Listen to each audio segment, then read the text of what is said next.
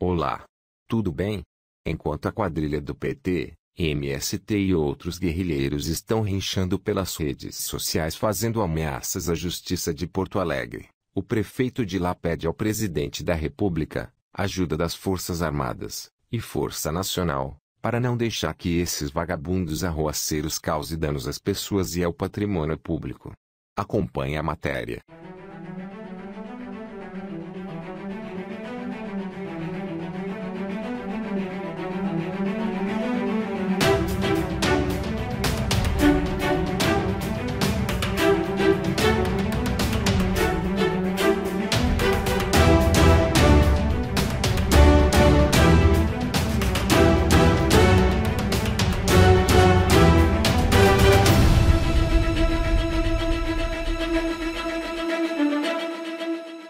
Prefeito de Porto Alegre, Nelson Marchesan Júnior, PSDB, solicitou apoio do Exército e da Força Nacional para atuarem no dia do julgamento do ex-presidente Luiz Inácio Lula da Silva no Tribunal Federal Regional da Quarta Região, TRF4, na capital gaúcha, previsto para 24 de janeiro.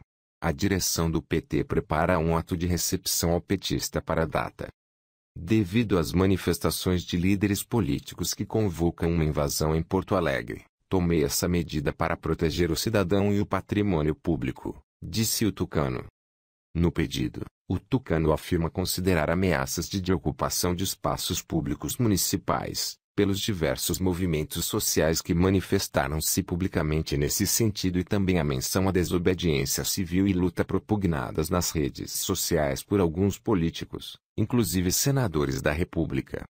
Em decisão liminar do dia 29 de dezembro, o juiz Osório Avila Neto acolheu requerimento em ação civil da Procuradoria da República e interditou o Parque Maurício Sirotsky Sobrinho, proibindo no local conhecido como Parque da Harmonia instalações do Movimento dos Trabalhadores Rurais Sem Terra desde então e até três dias depois do julgamento.